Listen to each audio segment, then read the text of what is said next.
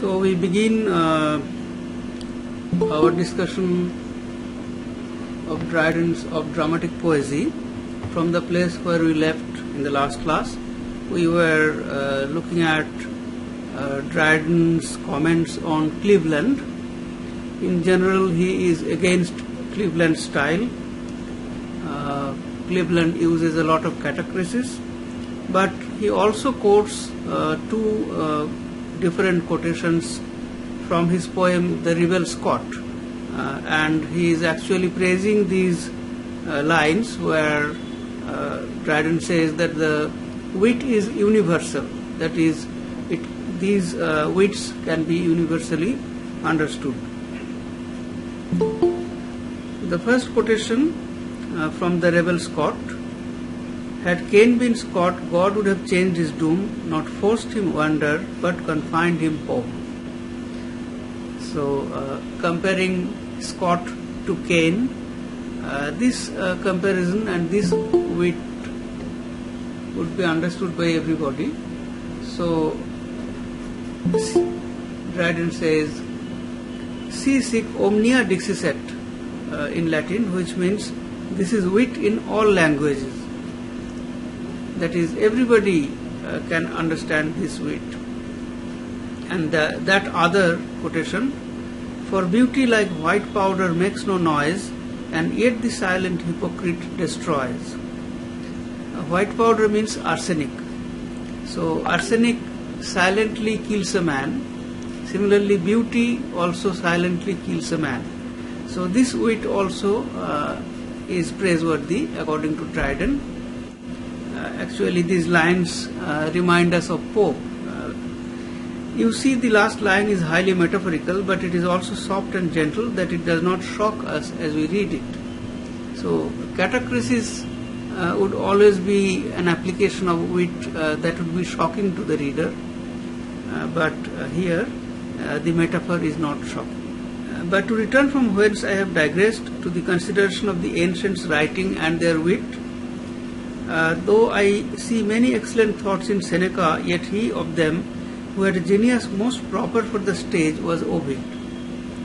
So Dryden says that uh, Seneca is famous for his tragedies, but the classical poet uh, who is most appropriate for uh, theatre is Ovid. But Ovid did not write any plays. Uh, but in his uh, The Metamorphosis, uh, he represented many dramatic situations, love sequences, and so on. Uh, he had a way of writing so fit to stir up a pleasing admiration and concernment, which are the objects of a tragedy, and to show the various movements of a soul combating betwixt two different, different passions. Uh, notice that Dryden uses admiration and concernment. So instead of uh, pity and terror, I mean concernment here is a mild form of terror, uh, but instead of pity, he uses admiration. Uh, this uh, term was also used by Philip Sidney in an apology. Uh, probably the source is some Italian uh, neoclassical critic, but it is nowhere mentioned. So, admiration um, and uh, concernment, uh, these are often represented in Ovid uh, for uh, the uh, uh, protagonist or the characters. Readers feel admiration and sympathy for them. And Ovid often presents two passions in conflict with each other in a particular character. Now, this is something with which we are very familiar in Shakespeare. Uh, Shakespeare often presents uh, two uh, contradictory passions uh, uh, in conflict in a character, as for example, he uh, speaks about Viola in Twelfth Night, and so on. So, this is something very dramatic and very difficult also to achieve.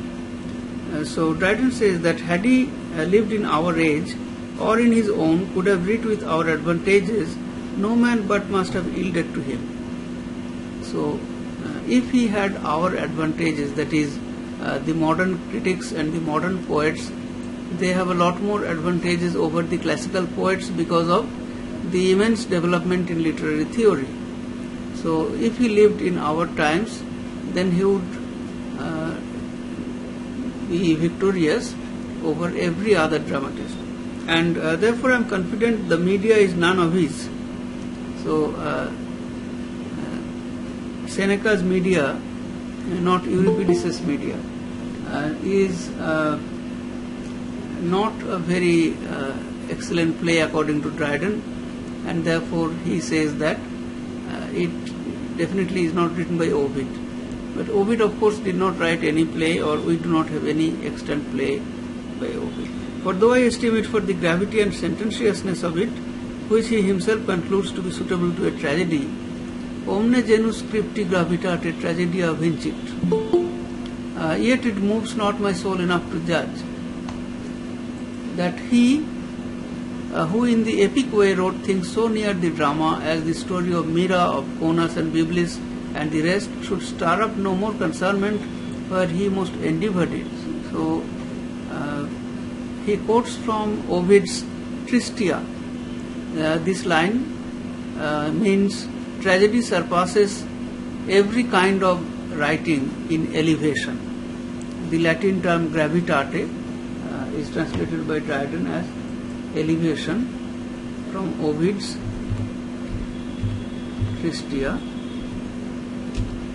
So Dryden says that if Ovid himself uh, wrote that tragedy is the highest kind of uh, writing in terms of uh, elevation, then uh, he could not have, you know, written or approved the Medea because that play has gravity and sententiousness. Sententiousness means some kind of judgment. Uh, yet uh, it does not move the soul of the reader. And uh, Ovid, Dryden says, wrote uh, in his epic, uh, The Metamorphosis, uh, many sequences which are, which are very dramatic. For example, the story of Myrrha or Caunus and Byblis and so on. The masterpiece of Seneca I hold to be that scene in the Troades where Ulysses is seeking for Astyanax to kill him. There you see the tenderness of a mother, so represented in Andromache, that it raises compassion to a high degree in the reader and bears the nearest resemblance of anything in the tragedies of the ancients to the excellent scenes of passion in Shakespeare or in Fletcher. So obviously uh, the argument here is that uh, the ancient uh, plays, uh, they could not stand in competition with Shakespeare or Fletcher or English Renaissance dramatists.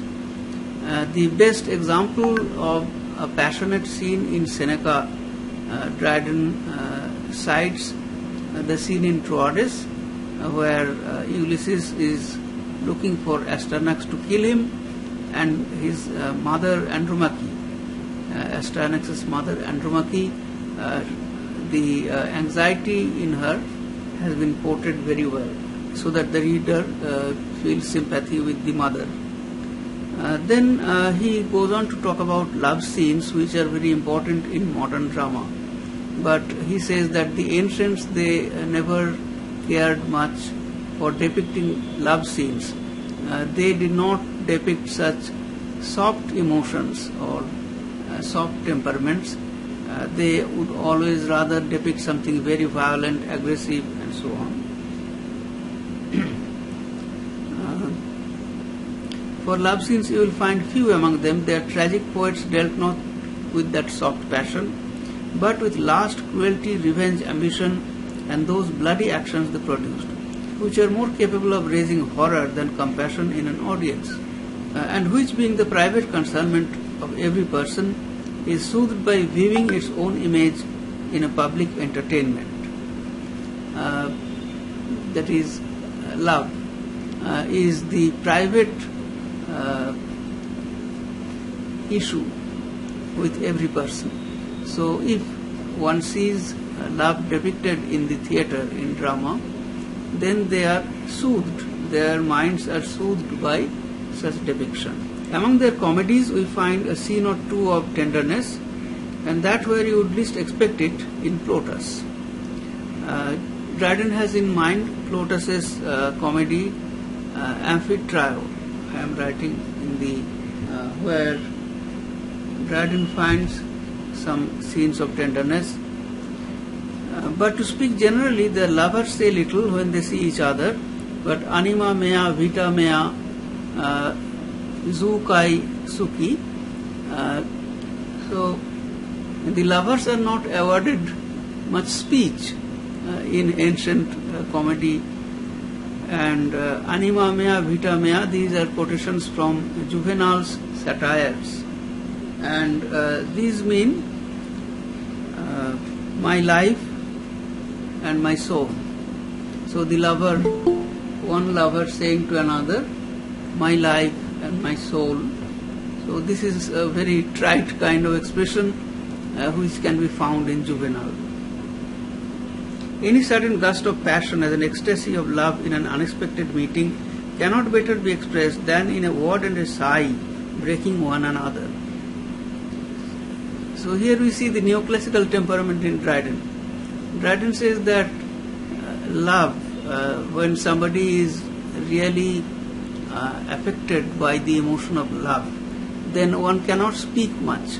But one, if one tries to say something, then the speech is interrupted by a heavy sigh or uh, a word and so on. So basically, uh, this kind of speech uh, by a lover would be, uh, you know, full of sighs and uh, not very articulate. So the ancients they do not give the lovers much scope to speak. Nature is dumb on such occasions, and to make her speak would be to represent her unlike herself. So it is not it will not be naturalistic to make lovers speak. But there are a thousand other concernments of lovers, as jealousies, complaints, contrivances, and the like. Thousand other concernments, uh, concernments uh, kind of globally stands for uh, various things. So here it stands for other passions, other emotions like jealousy, complaint, and so on were not to open their minds at large to each other, were to be wanting to their own love. Wanting means lacking. So uh, there are various situations in love where the lovers must speak uh, to uh, each other and to the expectation of the audience. So unless they speak, the audience would also be frustrated. Who watch the movements of their minds as much as uh, the changes of their fortunes for the imaging of the first is properly the work of a poet, the latter he borrows from the historian. So still we see in Dryden the continuation of that kind of thought uh, which we found in Sidney. You remember Sidney kept comparing a poet to a historian. So here also Dryden says that uh, a poet traces the movement of the mind of the characters, the historian traces the changes in their fortune. Eugenius was proceeding in that part of his discourse when Crites interrupted him. I see, said he, Eugenius and I are never like to have this question decided betwixt us.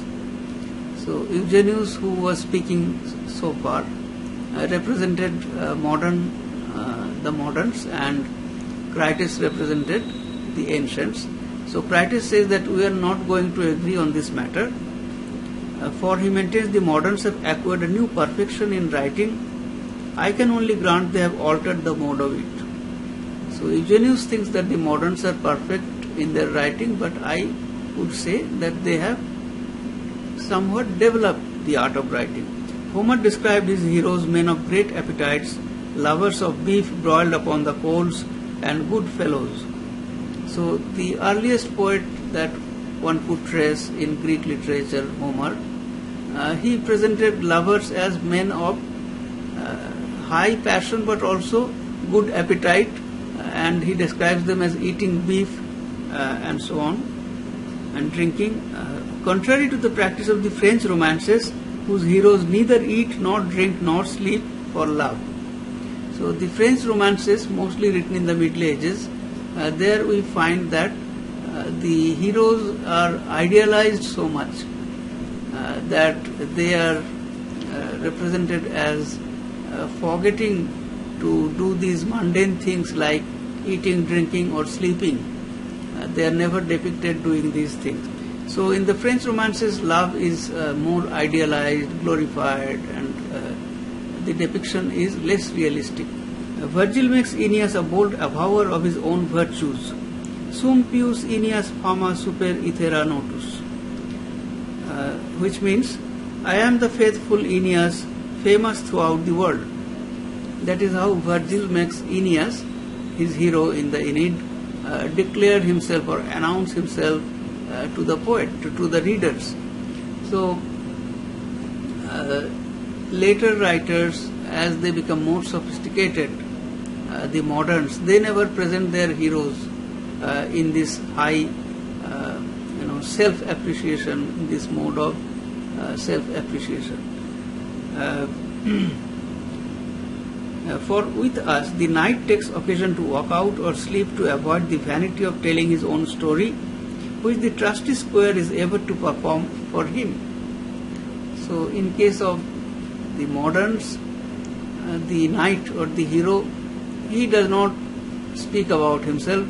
His square, uh, his companion, uh, declares his name and his virtues for the sake of humility. So, in their love scenes, of which Eugenius spoke last, the ancients were more hearty, we more talkative. There it loved as it was then the mode to make it, and I will grant thus much to Eugenius that perhaps one of their poets, had he lived in our age, si foret hoc nostrum fato delapsus in aevum, uh, he had altered many things. Crites says that uh, our lovers are more talkative, their lovers were more hearty, and uh, the ancients represent love as it was fashionable at their time. Uh, but uh, today, uh, one of the ancient poets, if he lived, if he had lived in our time, and then he would have altered many things. Uh, does not make it clear which poet he has in mind. Uh, this Latin expression means if by fate he had been born in our age. It is a quotation from uh, Horace, uh, Ars Poetica, uh, speaking about Lucilius, but that he might accommodate himself to the age in which he lived. Uh, so, uh, the poet uh, in ancient times, he would have to accommodate himself according to his age. So, he could not be more sophisticated than his age. Yet in the meantime, you are not to conclude anything rashly against those great men, but preserve to them the dignity of masters and give that honor to their memories. Quos libitina sacravit, a part of which we expect may be paid to us in future times. So this uh, Latin phrase means whom the funeral goddess has hallowed. Uh, funeral goddess, it may be a reference to fame or, uh, you know, the kind of fame which attains a poet after death. So, uh, says that uh, let us give the ancients their due honor, and uh, they have uh, they are renowned, they are famous, and we expect a similar courtesy from the future generations. So, Crites effectively stops this debate between the ancients and the moderns uh, even though it is quite clear that Eugenius, who represented the moderns, is uh, kind of victorious in this debate. this moderation of Crites, as it was pleasing to all the company, so it put an end to the dispute, which Eugenius, who seemed to have the better of the argument, would urge no further. But Lisideius, after he had acknowledged himself of Eugenius his opinion concerning the ancients, yet told him he had forborne till his discourse were ended to ask him why he preferred the English plays above those of other nations, and whether we ought not to submit our stage to the exactness of our next neighbors. Now you remember that uh, Lisideius uh, is a Francophile. Uh, he represents the uh, love of French poetry and drama. So he uh, had so far uh, refrained from asking Eugenius this question uh, while he was speaking. Now that he has stopped his speech, so he asks him uh, whether he doesn't consider the French poets to be better, more exact in their pursuit of uh, classicism uh, than the English. Those said Eugenius, I am at all times. So Eugenius says that uh, uh I always uh, defend my country against uh, the French, and particularly looking at Neander, who represents Dryden, he says, I will commit this cause to my friend's management. Uh, and besides, there is no reason that Crites and I should once again come back and speak. Uh, because in the comedies, once the characters leave the stage, they do not come back. So I will not speak on this issue, but let others speak. Then Lisideius makes a short speech talking about the uh, perfection of the French uh, dramatists, and basically uh, we have here a kind of debate between Lisideius and Neander over this issue. Uh, the 40 years ago, if this question was raised, uh, who wrote better, the French or the English, then I would have agreed with you that the English were better writers. But in the intervening 40 years, our writers have uh, become uh, poorer in quality. We do not have good writers in these 40 years. And the French, on the other hand, have advanced a lot in writing. So, today the scenario is the opposite. So, today we do not have any longer such great poets like uh, Beaumont, Fletcher, or Jonson. So, we notice that Dryden does not mention Shakespeare here because the question, the issue here is how far uh, the dramatist could uh,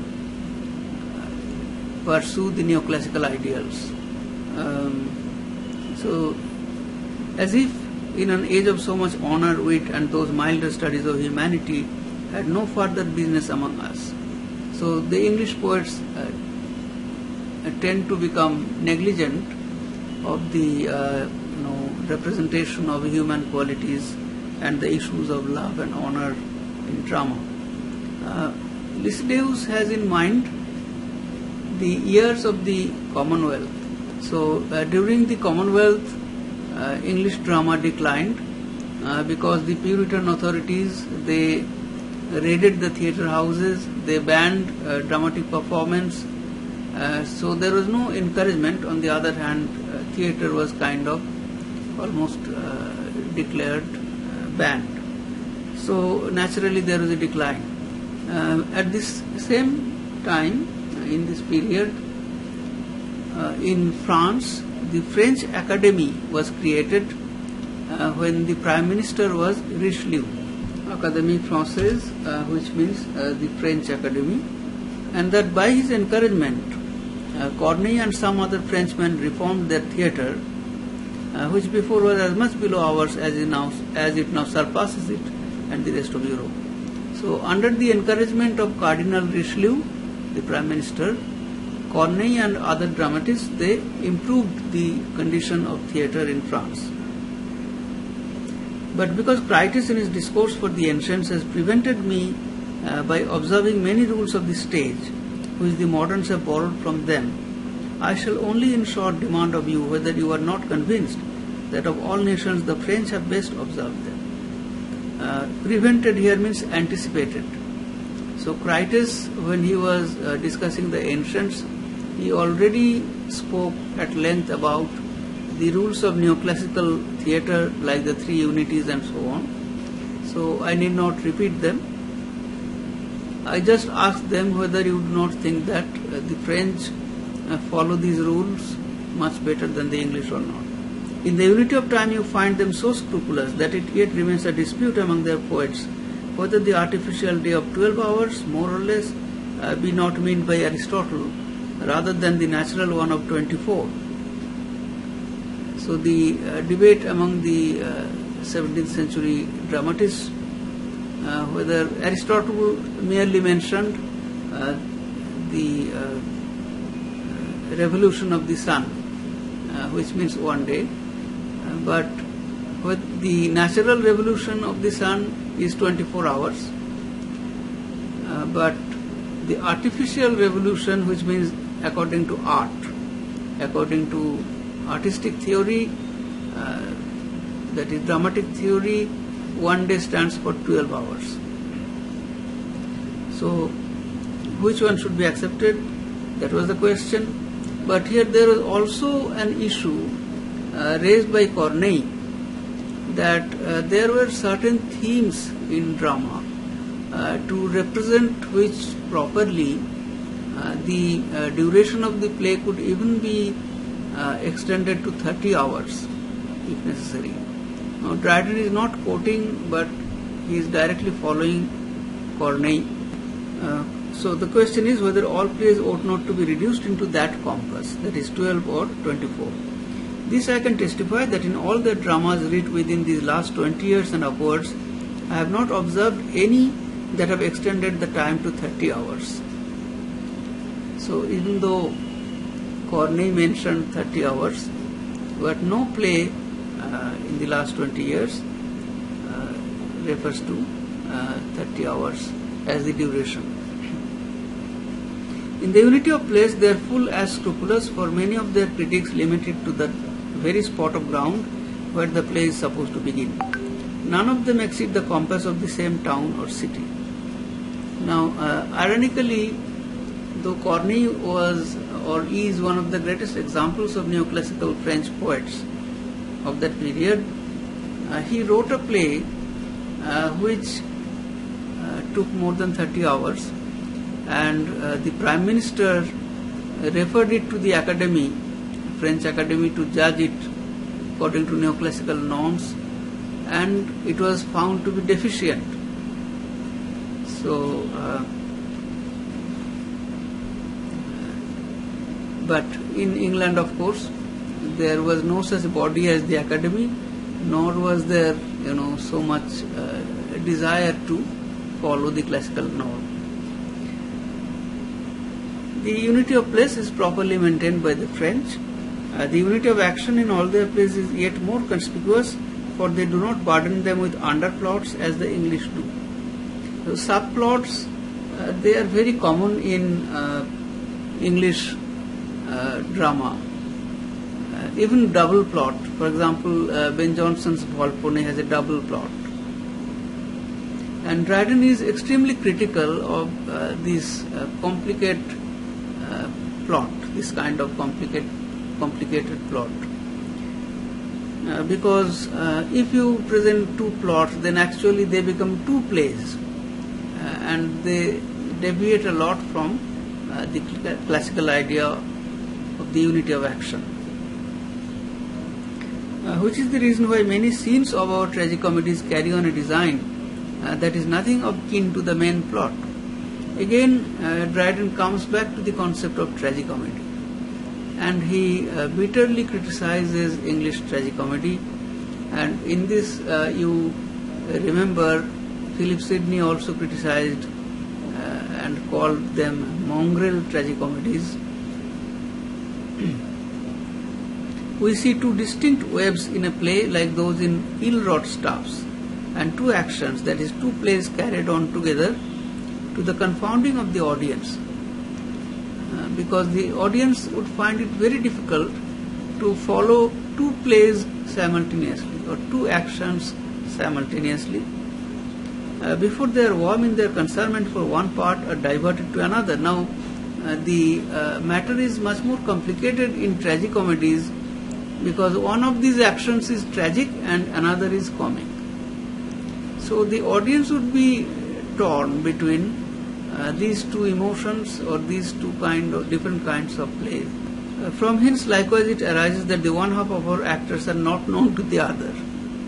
The actors of the tragedy, they do not know the actors of the comedy in the same play means they never meet in a single scene Uh, so uh, these uh, two actions they do not mix very well, and all the characters do not know one another, and in the last scene only uh, they come together uh, when there is a resolution.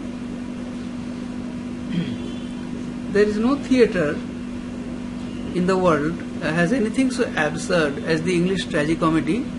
It is a drama of our own invention, and the fashion of it is enough to proclaim it so. Here a course of mirth, there another of sadness and passion, and a third of honor and a duel. Thus, in two hours and a half, we run through all the feats of Bedlam. Bedlam was the most infamous uh, prison where uh, mad people were kept. So the asylums at that time were like prisons. Uh, in King Lear we have the Bedlamite beggar, the beggar who comes out of Bedlam. Uh, the French affords uh, affords you as much variety on the same day, but they do it not so unseasonably or malapropos as we. Malapropos is a French phrase which means not according to the point, not to the point, or not appropriate to the subject at hand. So Dryden, even though he had uh, criticized use of French words and French phrases, but he himself used no less than at least 40 words and phrases from French, uh, which became, uh, you know, conventional in English and are used even today. So malapropos is one such uh, phrase. Our poets present you the play and the verse together, and our stages still retain somewhat of the original civility of the Red Bull.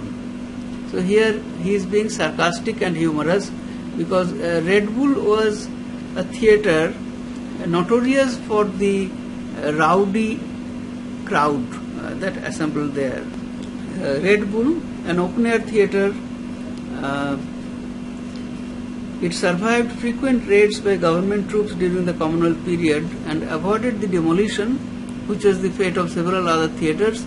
It had a reputation for rowdiness, its actors often being terrible tear throats. So the actors were also very violent.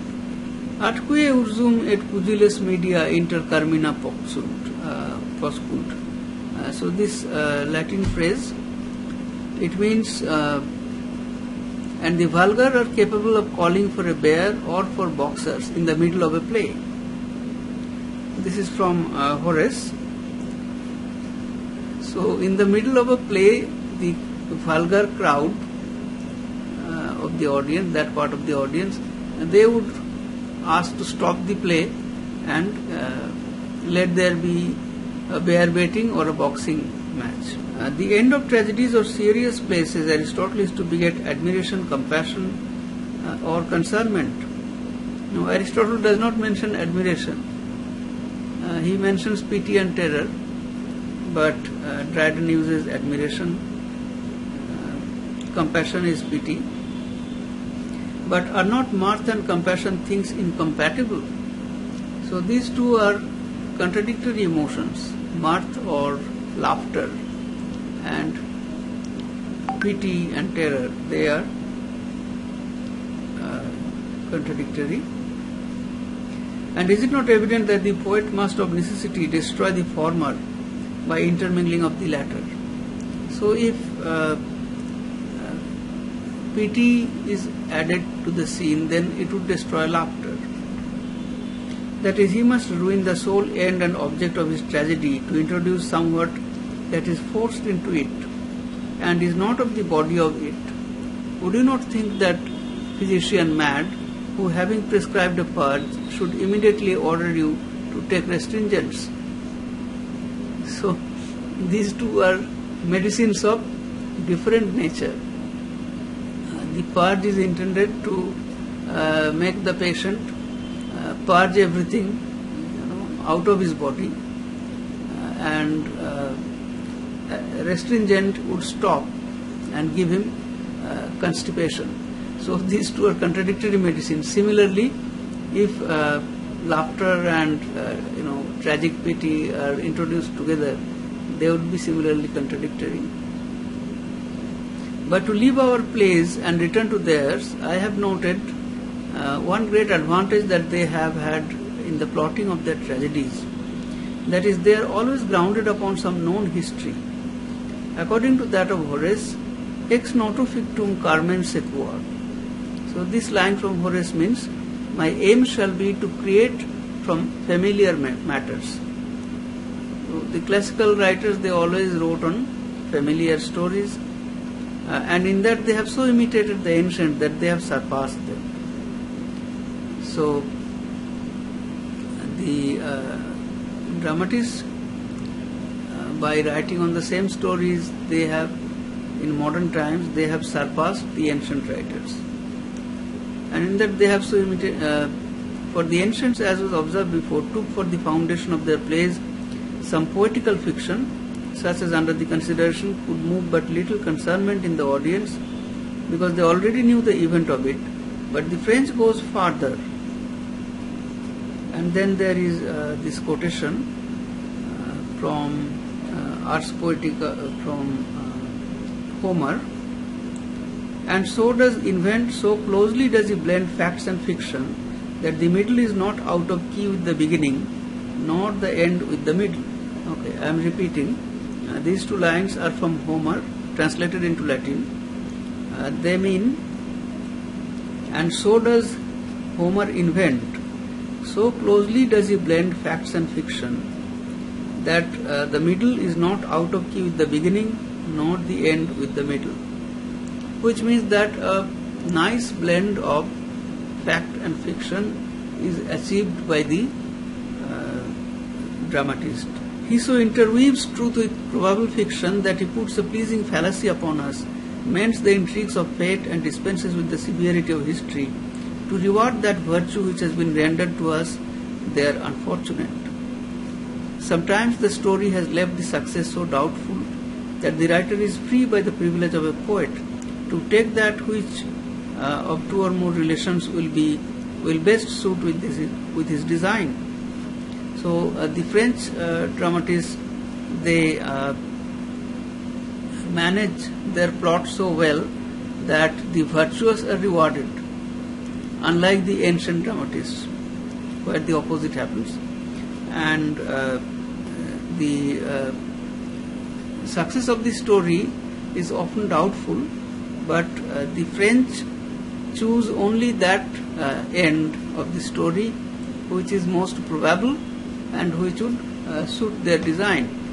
For example, in the death of Cyrus, whom Justin had some uh, and some others report to have perished in the Scythian war, but Xenophon affirms to have died in his bed of extreme old age.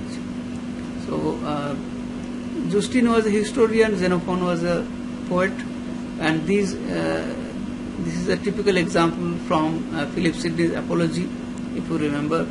So, Dryden here follows Sidney and says that uh, the poet, by showing that uh, Cyrus lived till his old age, provides him with poetic justice because he was a virtuous man. Uh, but the historian uh, had to follow the facts, so he shows Cyrus dying in action, uh, which does not, you know, offer the reader with poetic justice. Uh, when the event is past dispute, even then we are willing to be deceived, and the poet, if he contrives it with appearance of truth, has all the audience of his party, at least during the time his play is active. So naturally, we are kind to virtue when our own interest is not in question, that we take it up as the general concernment of mankind. So the poet, even though he is deviating from facts, he would always be accept, accepted by uh, readers uh, if he shows that virtue is rewarded. Uh, then uh, Dryden gives the example of the historical plays of Shakespeare. There are rather so many chronicles of kings or the business many times of 30 or 40 years cramped into a representation of two hours and a half, which is not to imitate or paint nature but rather to draw her in miniature, to take her in little. So, uh, this is uh, criticism of uh, Shakespeare's history plays, but this criticism is coming from Lisideius, uh, who uh, obviously is judging from a neoclassical point of view, and uh, he is also uh, a supporter of French dramatists.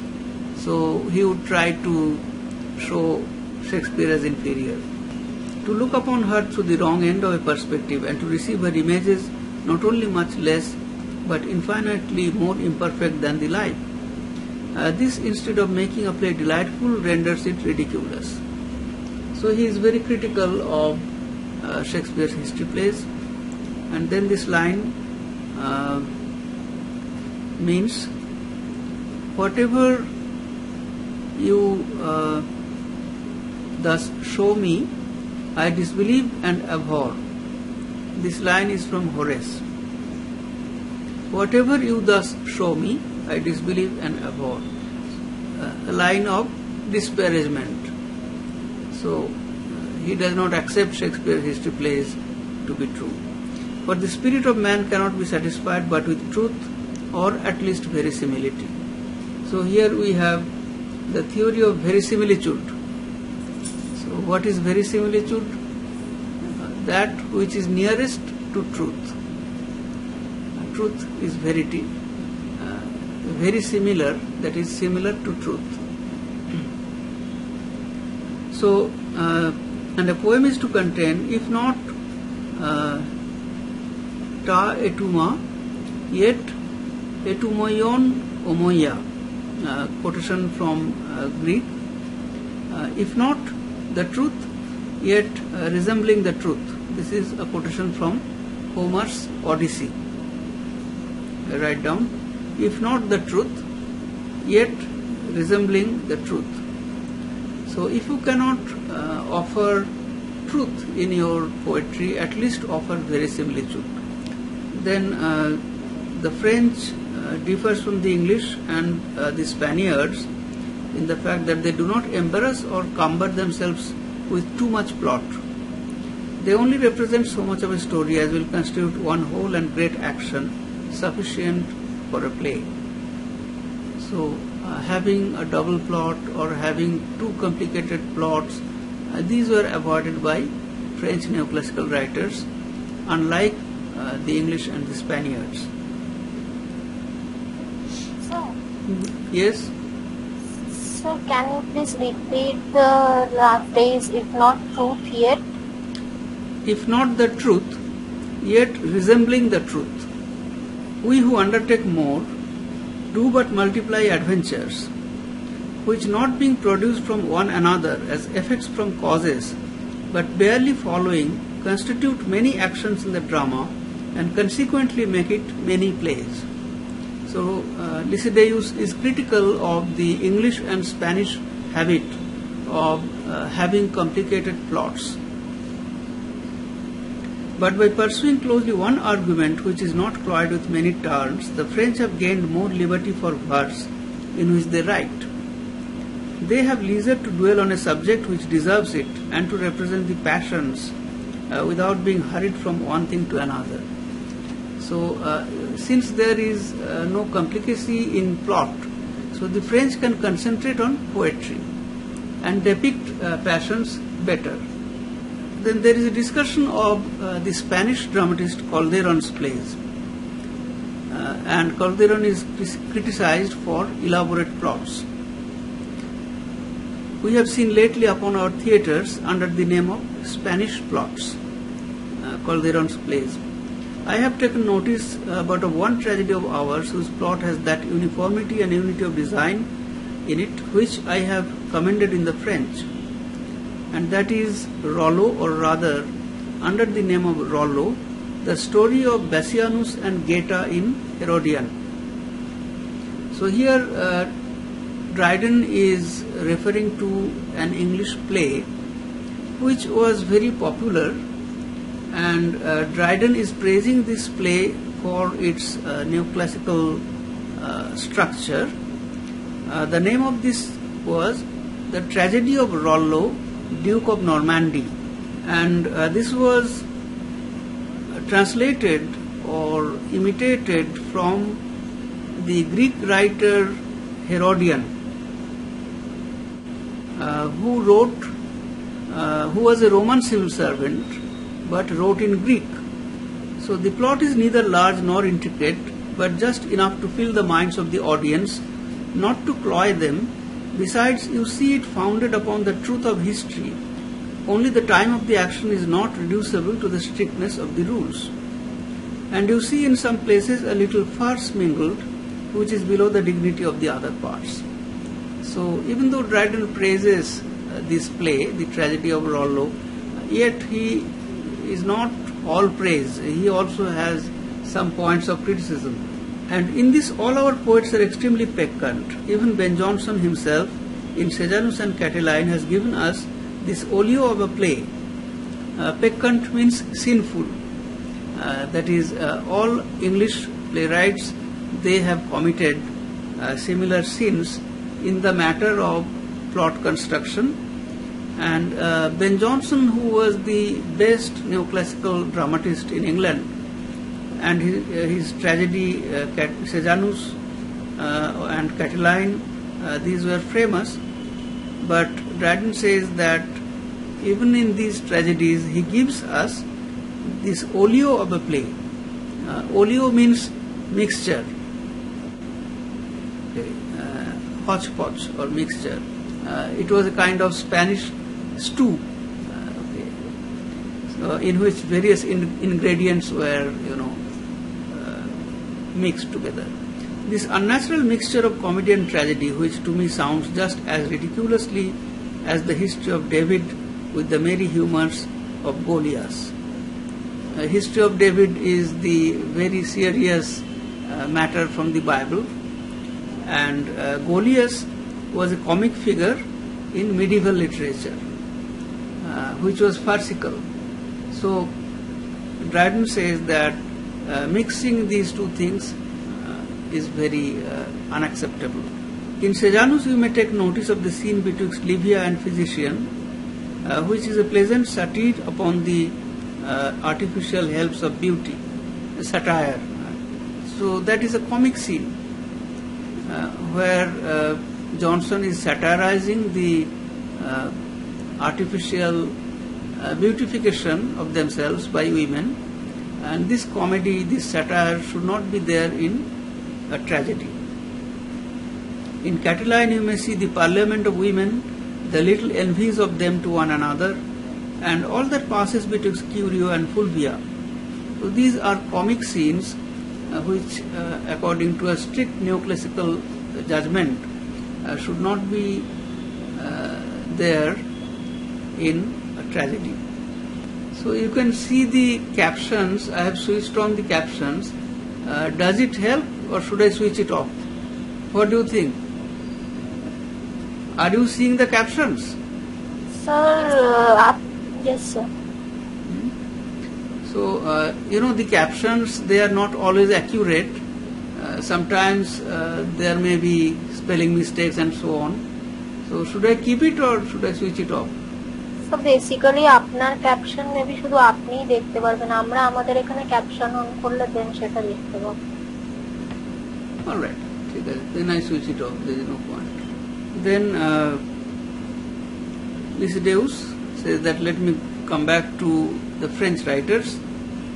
Uh, they do not burden themselves too much with plot, which has been reproached to them by an ingenious person of our nation as a fault, for he says, they commonly make but one person considerable in a play. So here Dryden is alluding to, uh, most probably to uh, Thomas Sprat, uh, who criticized the French dramatists for uh, having only one hero, one uh, protagonist. They dwell on him and his concernments while the rest of the persons are only subservient to set him off. If he intends this by it, that there is one person in the play who is of greater dignity than the rest, he must tax not only theirs but those of the ancients, and which he would be loath to do the best of ours.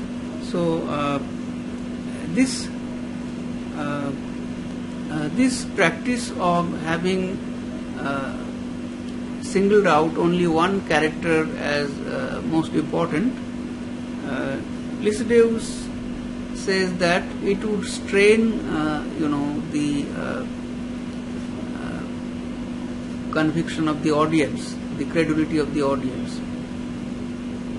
What is impossible but that one person must be more conspicuous in it than any other, and consequently the greatest share in the action must devolve on him. So, uh, it is impossible that other characters do not have any roles to play.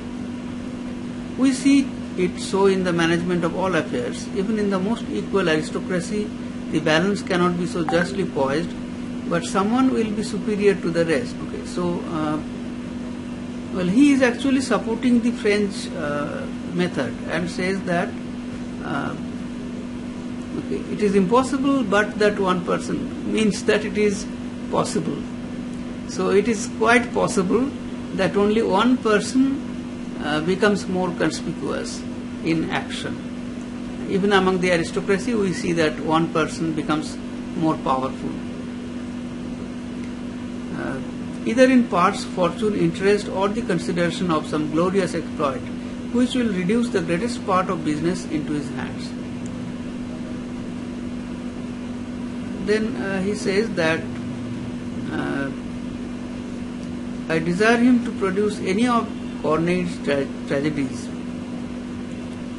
That is, if uh, Thomas Sprat uh, would uh, make us imagine that when one character is exalted, the others are neglected, then I ask him to uh, produce Corneille's tragedies, uh, wherein every person has not some employment and who is not necessary to the carrying on of the plot, or at least to your understanding it. Uh, by this, uh, Dryden means that in Corneille's tragedy, even though one person is selected as the most important character, all other characters, even the minor characters, they have some role or some function in the play. There are indeed some prototypic persons in the ancients whom they make use of in their plays, either to hear or give the relation. Uh, means introductory character. So, uh, in ancient uh, drama, we see that there are some introductory characters who introduce the uh, topic of the play. But the French avoid this with great address. Address means skill. Uh, making their narrations only to or by such who are some way interested in the main design. Interest means concerned with the main design. And now I am speaking of relations. I cannot take a fitter opportunity to add this in favor of the French, that they often use them with better judgment and more apropos than the English do. So now Lisideius is talking about relations, that is, when uh, things are narrated on the stage uh, instead of uh, representing direct action. And uh, the French use this device of narration or relation very well. Not that I comment narrations, but uh, there are two sorts of them. One of those things which are antecedent to the play and are related to make the conduct of it more clear to us. That is, narration of a story, narration of the story before the action of the play begins. So, some character appears and tells what happened earlier. And if the audience hears that very uh, cautiously and attentively, only then he can follow the rest of the action. But if he misses out on it, then he, find, he would find it difficult to follow the action. But it is a fault to choose such subjects for the stage as will force us on that rock. Because we see they are seldom listened to by the audience, and that is many times the ruin of the play. The audience at the beginning of the play uh, do not play any pay any attention to the narration, so they cannot understand the plot. But there is another sort of relations that is of things happening in the action of the play and supposed to be done behind the scenes. And this is many times both convenient and beautiful. So, uh, things which are supposed to happen during the performance but outside uh, the stage, behind the scenes. And uh, that kind of narration, that is what happened uh, behind the scenes, uh, which is not staged. That kind of narration is more helpful. Uh, by it, the French avoid the tumult to which we are subject in England by representing duels, battles, and the like, which renders our stage too like the theatres where they fight prizes. So, in French neoclassical drama, fights, battles, duels, they are narrated, they are not represented on the stage, but in English play they are represented on the stage, and because of that, Dryden says that English theatre appears to be uh, like a place where people are contesting for prizes. For what is more ridiculous than to represent an army with a drum and five men behind it? And this is exactly, uh, you know, very similarly expressed uh, in Sidney's Apology. When Sidney also criticizes the depiction of battles, an army is represented by five soldiers with drums. So this is a ridiculous depiction. Which the hero of the other side is to drive in before him or to see a duel fought and one slain with two or three thrusts of the foils, which we know are so blunted that we might give a man an hour to kill another in good earnest with them. So in these scenes where uh, people fight on the stage and one of them falls dead uh, when uh, these uh, swords which were used in theatre or uh, used in uh, sports, uh, in sword fighting, uh, fencing, these were called foils and uh, they were blunt. So Dryden humorously says that if one had really to kill a person with this blunt foil, then it would take him hours to kill him. Uh, which means that the whole representation of the fight and the death uh, on the stage is uh, very ludicrous and unrealistic. The, uh, the audience cannot forbear laughing when the actors are to die. So Dryden says that it is very difficult to represent death or to perform uh, in acting uh, the act of dying. It is never convincing, and whenever anybody tries to act out, uh, you know, dying on the stage, then people laugh because it never becomes convincing. Dying, especially, is a thing which none but a Roman gladiator could naturally perform because in the amphitheater, the Roman gladiators who, who fought, they actually killed one another. So their death was only the natural death, uh, but no other actor can perform dying. When we see death represented, we are convinced it is but fiction, but when we hear it related, our eyes are wanting, which might have undeceived us. So, relation of death is always uh, better uh, because if it is represented on the stage, then our eyes uh, they won't be deceived. It is very difficult to deceive the eyes. They therefore who imagine these relations would make no concernment in the audience are deceived uh, by confounding them with the other, which are of things antecedent to the play. So, according to uh, uh, relations in the course of acting are credible. Relations before the performance are not. Those are made often in cold blood to the audience, but these are warmed with our concernments which were before awakening the play. Those means uh, relations before performance, they are made in cold blood, and the audience uh, would not be moved by it. But those relations which are made during the performance, uh, they uh, move us. What the philosophers say of motion, that uh, when it is once begun, it continues of itself and will do so to eternity without some stop put to it, is clearly true on this occasion. So uh, he is alluding to uh, Descartes. So Descartes had written that if any body is put in motion through space, then it will move on till eternity unless there is an another force which uh, comes into conflict with it.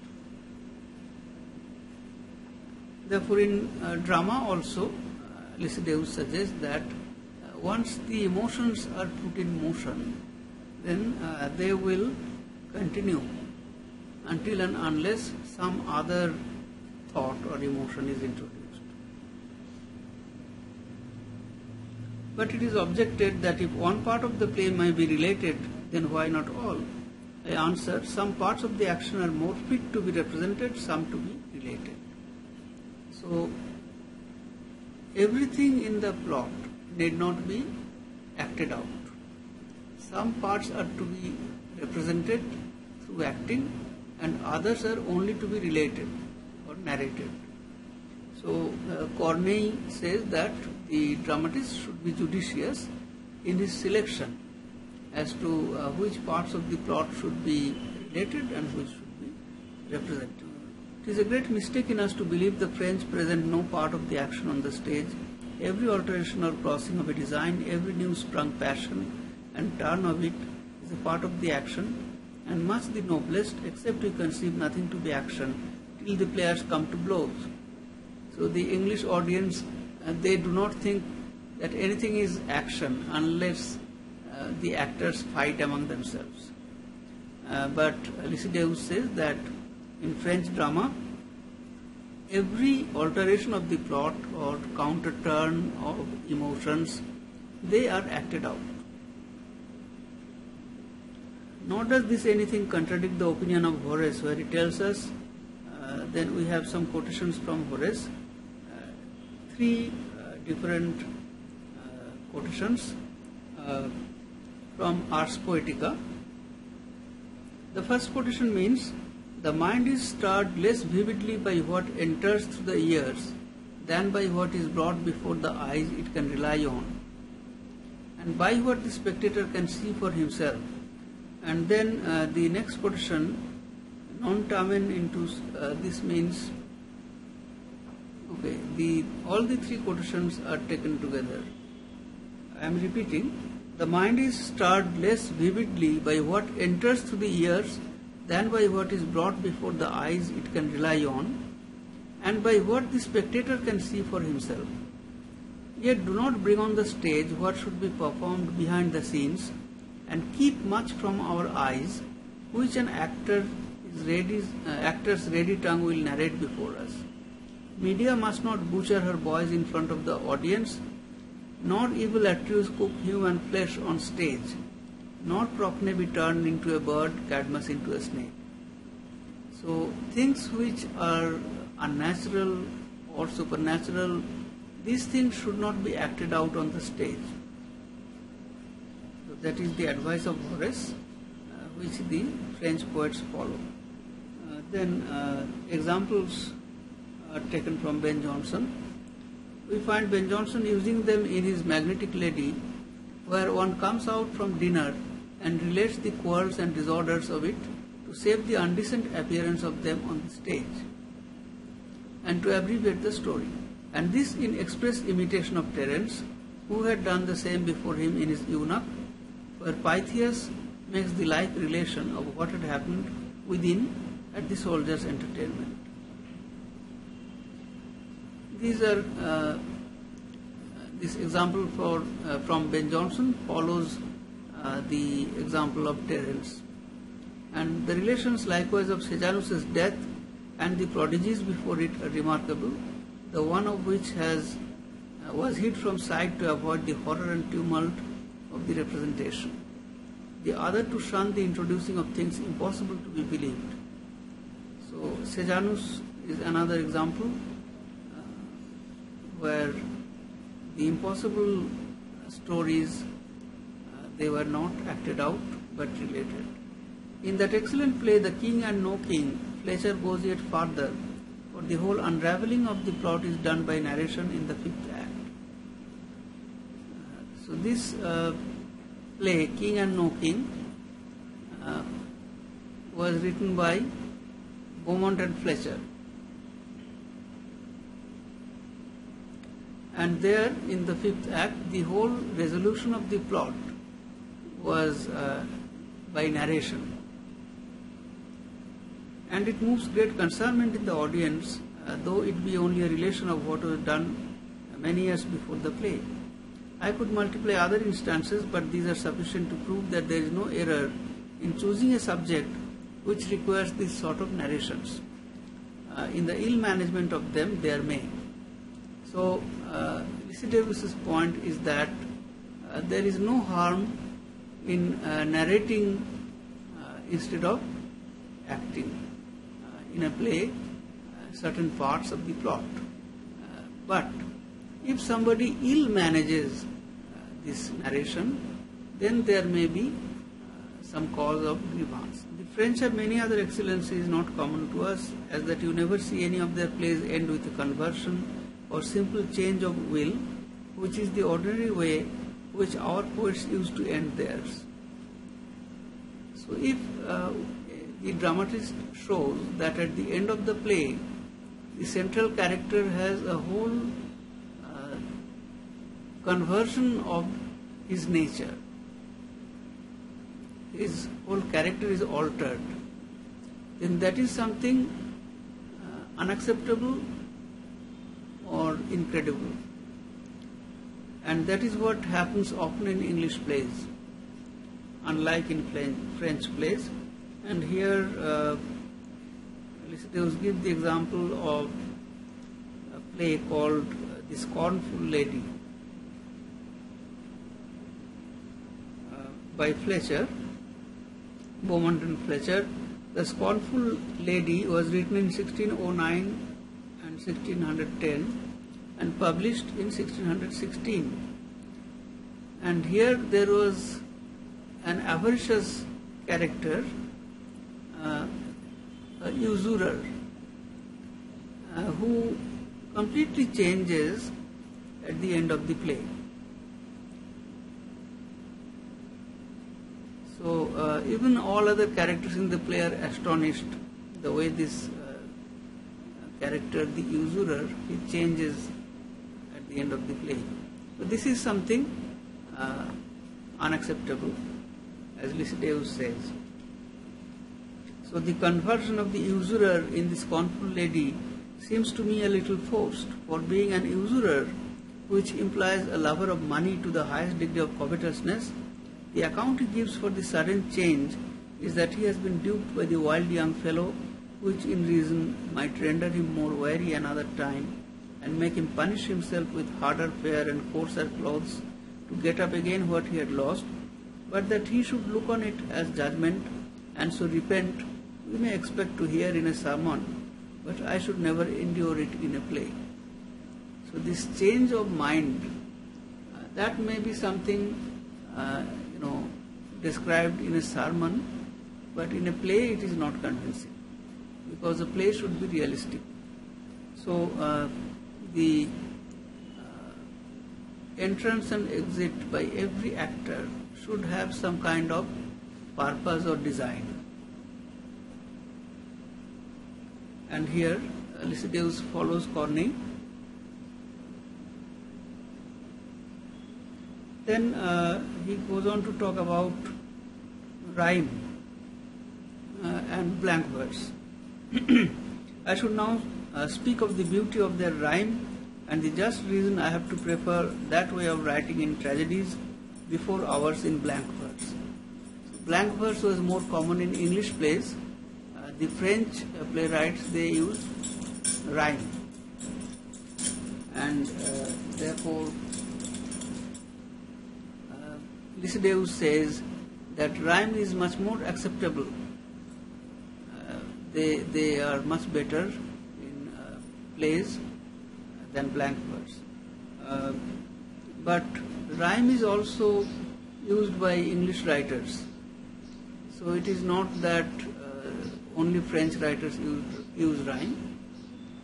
So uh, says that, uh, let me uh, talk about rhymes.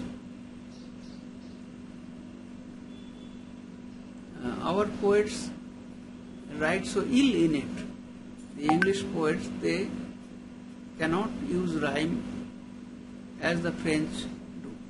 This indeed may prove a more prevailing argument than all others which are used to destroy it, and therefore I am only troubled when great and judicious poets and those who are acknowledged such have writ or spoke against it. So if uh, intelligent, talented poets speak against rhyme, then I feel hurt. So here actually Dryden is alluding to his brother-in-law Howard, uh, who had written against rhyme. Howard, whose ability as both poet and critic Dryden had praised in the prefatory letter to Annus Mirabilis, spoke against rhyme as unnatural on the stage in his preface to four new plays. As for others, they are to be answered by that one sentence of an ancient author. And this very long Latin sentence is from uh, Velleius Paterculus.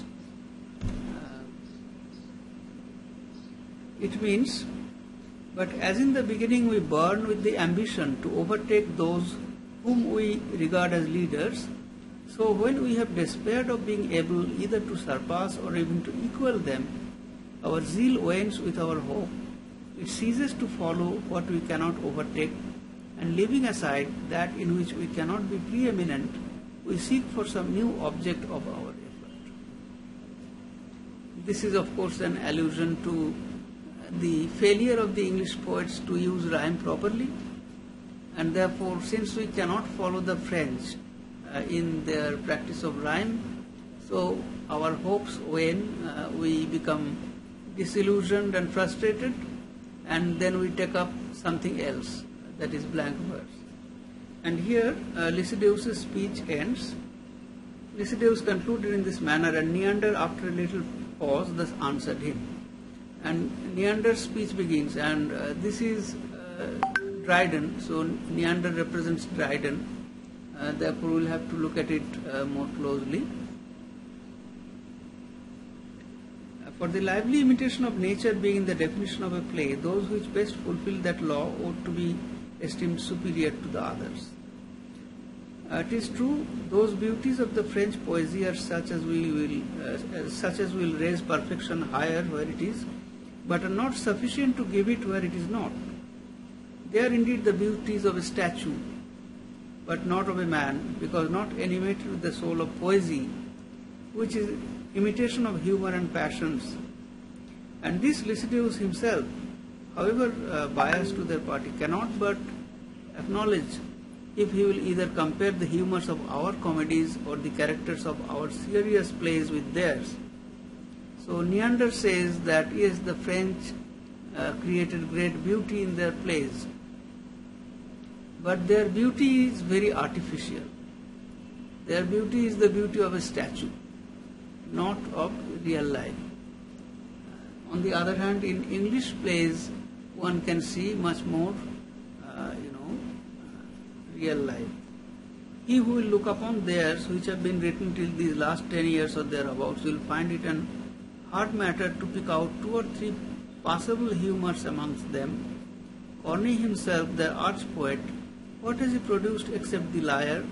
And you know how it was cried up in France but when it came upon the English stage, though well translated, and that part of Dorant acted to so much advanced age as I am confident it never received in it in its own country, the most favorable to it would not put it in competition with many of Fletcher's or Ben Jonson's.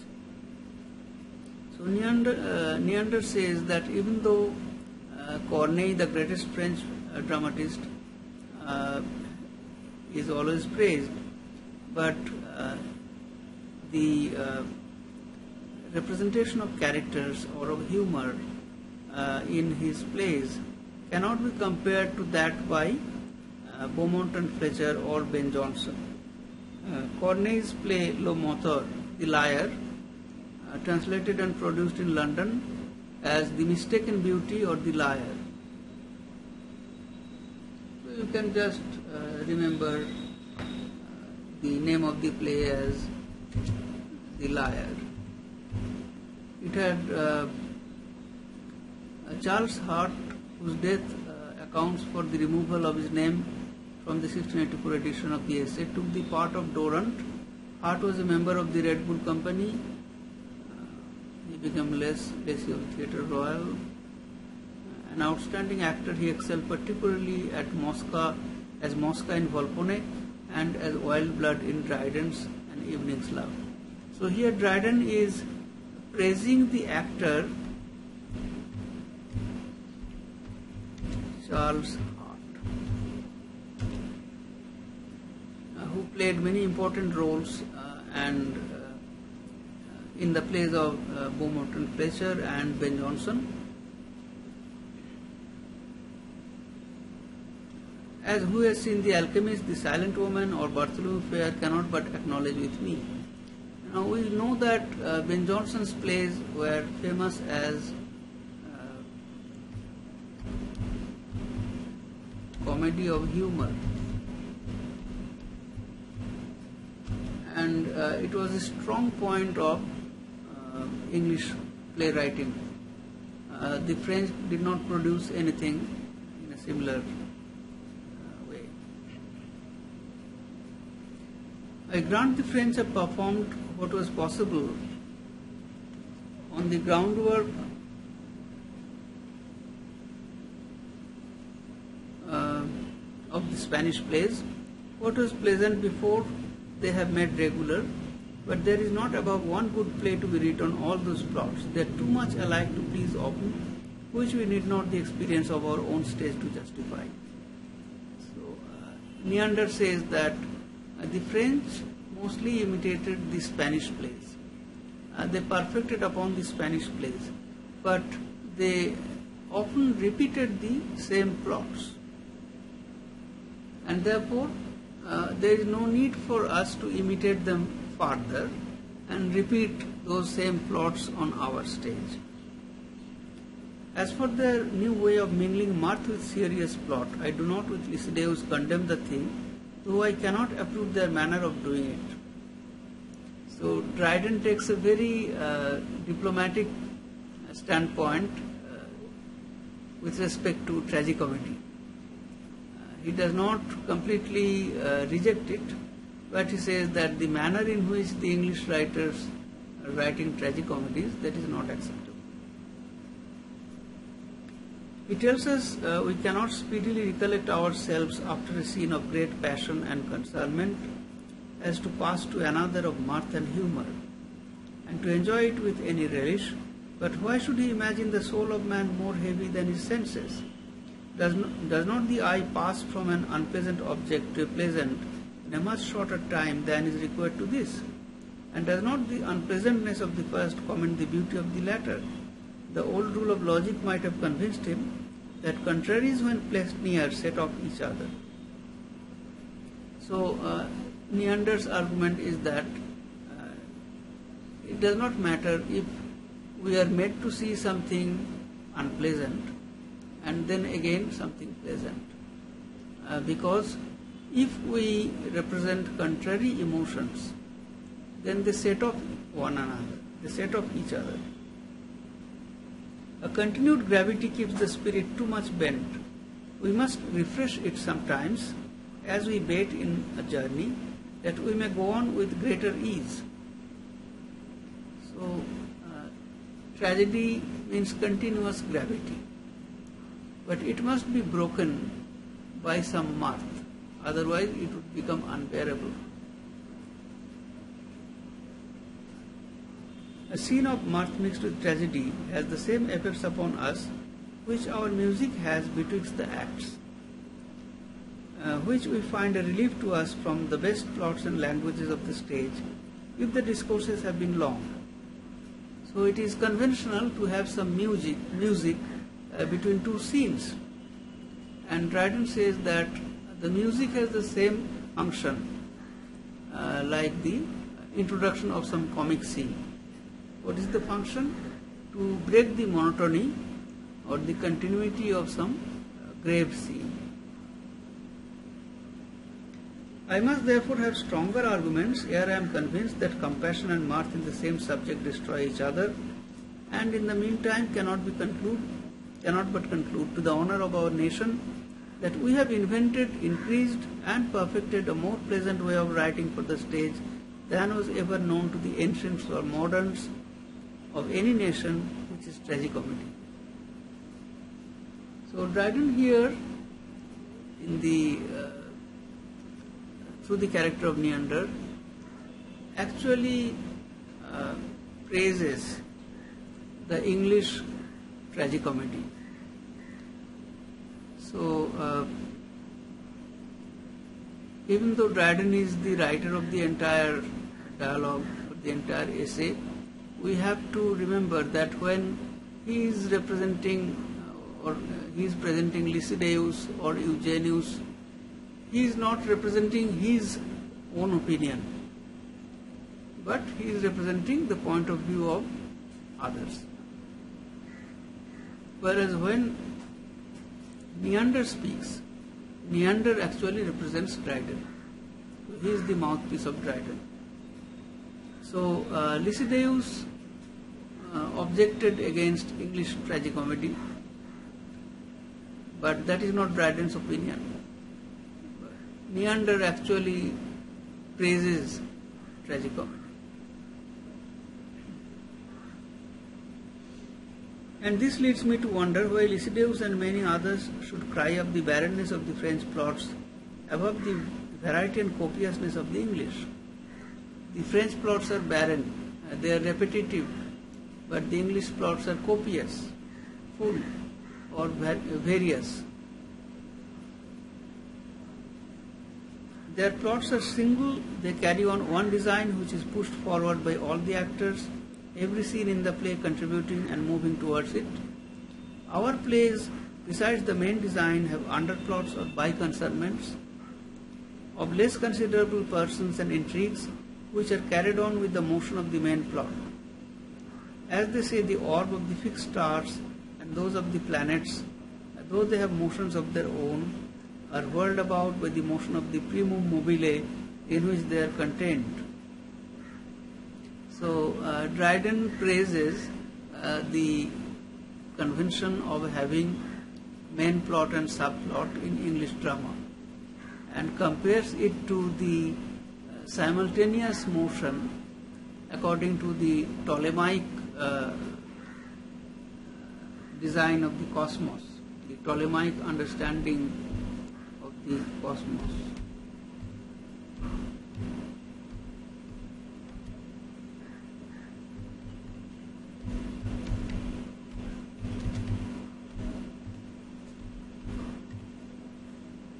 where the outer layer was the primum mobile, the outermost layer. Primum mobile means the prime mover. The prime mover is none other but God uh, who uh, sets this whole universe in motion. Uh, this was the Ptolemaic, means the Greek concept of the cosmos. And then there was a concentric circle of the fixed stars and then there are other concentric circles, circle of the planets, uh, and so on. So uh, each of these circles uh, moved in tandem. Therefore, why not main plot and subplot can move together? That similitude expresses much of the English stage, for if contrary motions may be found in nature to agree, if a planet can go east and west at the same time, one way by virtue of his own motion, the other by the force of the first mover, it will not be difficult to imagine how the underplot, which is only different, not contrary to the great design, may naturally be conducted along with it. I think I skipped a few pages. So after Lisideius' speech, uh, there is some discussion of uh, French uh, literature, Molière, the younger Corneille and others, and uh, how they mixed serious plays with mirth. Uh, then Ben Jonson, Alchemist, The Silent Woman, Bartholomew Fair, and then uh, the discussion about uh, tragicomedy. So here we have a reference to Ptolemaic astronomy, uh, which Dryden had surely rejected in favor of the Copernican system, in which the sphere beyond the fixed stars gives the eight lower spheres their motion. So Dryden may have rejected the Ptolemaic astronomy, but here we see that he is using this example uh, because it suits his argument. Eugenius has already shown us from the confession of uh, the French poets that the unity of action is sufficiently preserved if all the imperfect actions of the play are conducing to the main design. The classical notion that uh, every action would uh, move forward or, or help the progression of the main design. But when those pretty intrigues of a play are so ill ordered that they have no co- coherence with the other, I must grant that Lisideius has reason to tax that want of due connection. For coordination in a play is as dangerous and unnatural as in a state. In the meantime, he must acknowledge our variety, if well ordered, will afford a greater pleasure to the audience. As for his other argument, that by pursuing one single theme they gain an advantage to express and work of the passions, I wish any example he could bring from them would make it good. For I confess their verses are to me the coldest I have ever read. So that is one uh, criticism of French neoclassical play, that their verses appear to be cold. Uh, for uh, neither indeed is it possible for them in the way they take so to express passion as that the effects of it should appear in the concernment of an audience, their speeches being so many declamations which tire us with the length, so that instead of persuading us to grieve for their imaginary heroes, we are concerned for our own trouble, as we are in tedious visits of bad company. So the point here is that French plays uh, contain you know, long speeches uh, and they are very tedious. When the French stage came to be reformed by Cardinal Richelieu, those long harangues were introduced to comply with the gravity of a churchman. Because Richelieu was a cardinal. So to please him, such long harangues uh, were introduced in theatre, in plays, uh, which were like sermons. And therefore, uh, to an English audience, uh, they would appear to be very boring, very tedious. Then some discussion of Corneille's plays. Look upon the Cinna and the Pompey. They are not so properly to be called plays as long discourses of reason of state. And Polyeucte in matters of religion is as solemn as the long stops upon our organs. So, almost like church music. Since that time it is grown into a custom and their actors speak by the hourglass like our persons. The persons in England uh, when they began a sermon, they would use an hourglass uh, to measure that uh, they would be speaking for an hour. Look upon, uh, since that time, nay, they accounted the grace of their parts and think themselves disparaged by the poet if they may not twice or thrice in a play entertain the audience with a speech of an hundred lines the audience is not at all entertained with such long speeches. For as we who are a more sullen people come to be diverted at our plays, so they who are of an airy and gay temper come thither to make themselves more serious. This is a very witty remark.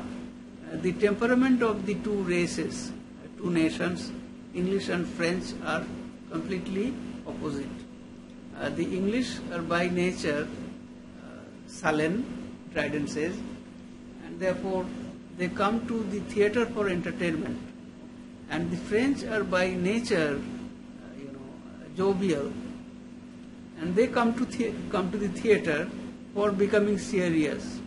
And this I conceive to be one reason why comedies are more pleasing to us and tragedies to them. But to speak generally, it cannot be denied that short speeches and replies are more apt to move the passions and beget concernment in us than the other. For it is unnatural for anyone in a gust of passion to speak long together, or for another in the same condition to suffer him without interruption. So, uh, somebody making a long speech, uh, it is difficult for that person to make a long speech, but it is perhaps more difficult for others to hear a very long speech. I really admire you. Uh, you are forced to listen to me for hours. So Dryden says that uh, one, one suffers, uh, you know, hearing long speeches. But a long sober shower gives them leisure to run out as they come, came in without troubling the ordinary current. As for comedy, repartee is one of its chiefest graces. The greatest pleasure of the audience is a chase of wit kept up on both sides and swiftly managed. So, quick repartee, quick exchange uh, of speeches, uh, kind of uh, competition among wits, uh, that offers a lot of humor in comedy. And this our forefathers, uh, if not we, have had in uh, Fletcher's plays to a much higher degree of perfection than the French poets can reasonably hope to reach. So these are the uh, high merits of English drama, uh, which uh, Neander points out. So Neander is uh, examining Lisideius' speech and refutes all his arguments one by one. Uh, so we see here a competition between Neander and. Lisideius uh, praising French theatre and Neander praising English theatre.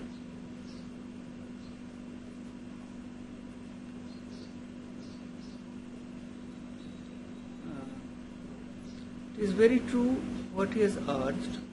Uh, this argument about one person uh, being considerable in their plays. So one hero being magnified in the French play, classical play. It is very true what he has urged that one character in all plays, even without the poet's care, will have advantage of all the others, and that the design of the whole drama will chiefly depend on it but this hinders not that there may be more shining characters in the play.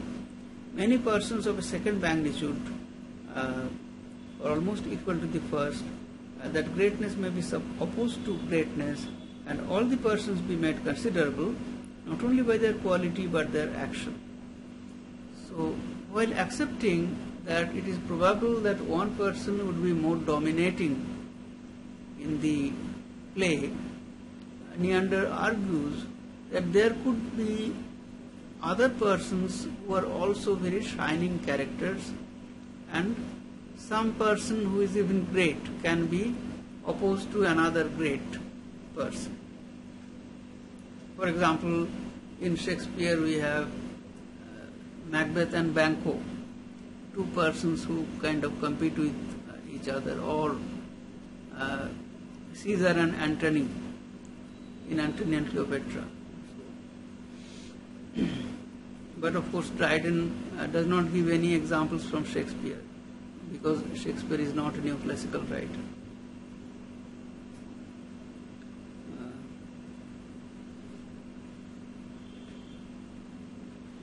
It is evident that the more the persons are, the greater will be the variety of the plot. If then the parts are managed so regularly that the beauty of the whole be kept entire, and that the variety become not a perplexed and confused mass of accidents, you will find it infinitely pleasing to be led in a labyrinth of design where you see some of your way before you, yet discern not the end till you arrive at it.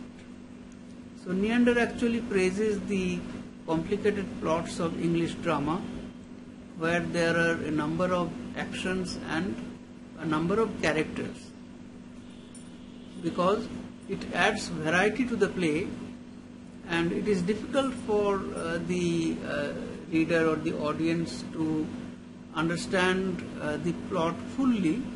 He can see only uh, to some extent uh, what is going to happen in the future, and then uh, some of what he thinks comes to be true, comes to be realized, which makes him happy, and the rest uh, which he could not imagine when that also is realized, then he is uh, delighted.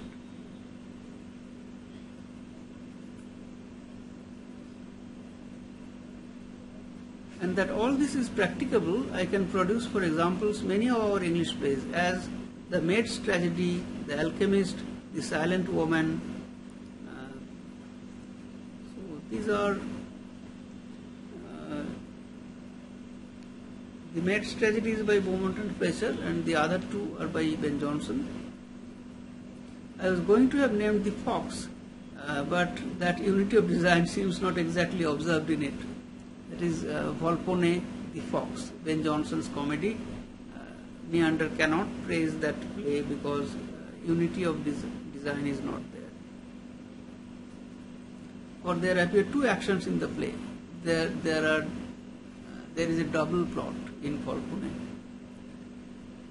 Uh, the first naturally ending with the fourth act, the second forced from it in the fifth, which yet is the less to be condemned in him, because the disguise of Volpone, uh, though it suited not with his character as a crafty or covetous person, agreed well enough with that of a voluptuary, and by it uh, the poet gained the end at which he aimed, the punishment of vice and the reward of virtue, both which the disguise produced.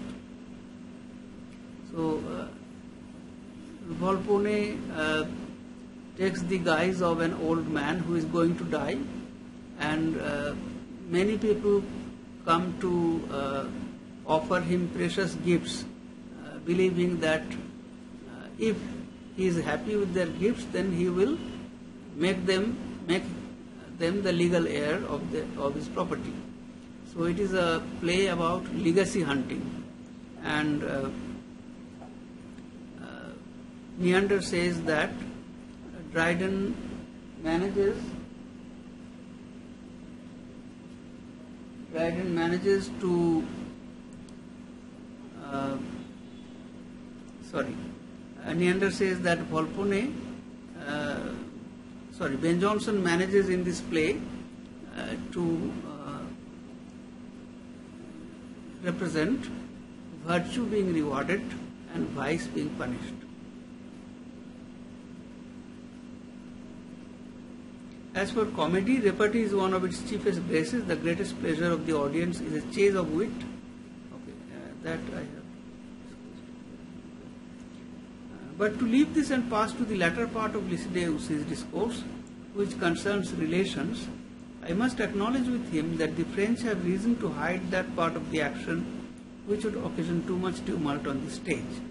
So, this uh, fashion uh, of neoclassical drama, that uh, action which is uh, too much of a disturbance, uh, is narrated rather, reported rather than represented on the stage, is played by Lisideius. But whether custom has to insinuate itself into our countrymen, or nature has to form them to fierceness, I know not. But they will scarcely suffer combats and other objects of horror to be taken from them. The English audience, they always loved uh, scenes of violence. And uh,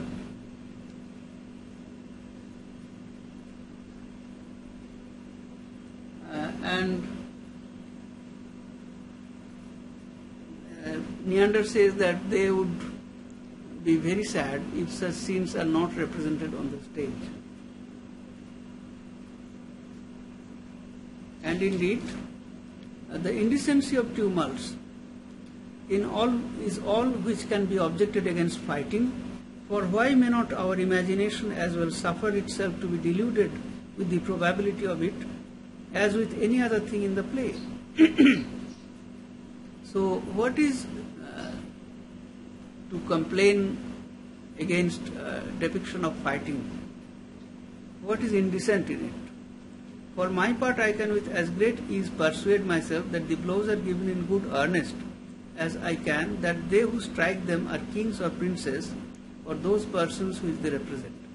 For objects of incredibility, I would be satisfied from Lisideius, whether we have any so removed from all appearance of truth as are those of Corneille's Andromede. A play which has been frequented the most of any he has writ, The Perseus of the son of an heathen god, the Pegasus and the monster were not capable to choke a strong belief.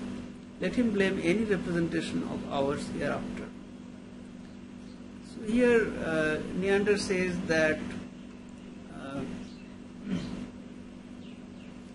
uh, in Corneille, uh, for example, a spectacle play, uh, the subject matter is taken from Ovid's Metamorphosis and is indeed far removed from all appearance of credibility. Much of its success was due to the production and scenic effects of the Italian Giacomo Torelli.